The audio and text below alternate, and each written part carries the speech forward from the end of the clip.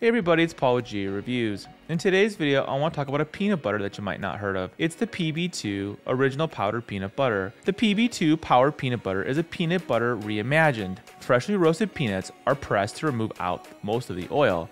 They mix a little bit of sugar and a dash of salt for flavor, and the result is a peanut butter with only 1.5 grams of fat per serving. That's almost 70% fewer calories than traditional peanut butter and 6 grams of protein based protein. Talking about protein packed. Like its traditional counterparts, the PB2 pack in the protein per serving, depending on which variety of the PB2 you're using.